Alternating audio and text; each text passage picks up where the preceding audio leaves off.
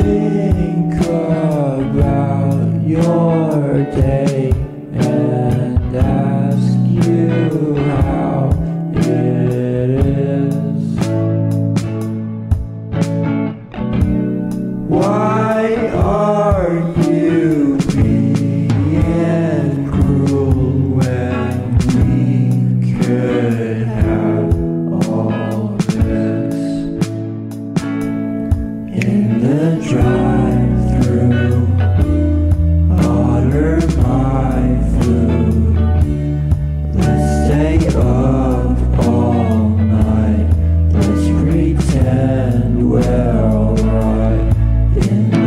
cry.